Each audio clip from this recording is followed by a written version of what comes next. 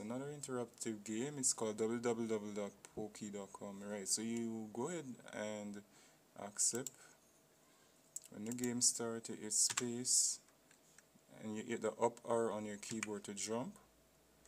So this is very um, interactive. It allows you to pretty much surpass all of the levers by going with the directional arrows.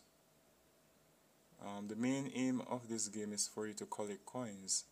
So the more you collect coins the more you actually um, get the chance of moving forward to another lever right so you need to get those letters as well. And watch out for hurdles because that's something you'd have to watch out for. So this is an awesome game. You can try you need more video tutorials like these to find out exciting games that you can play on the website.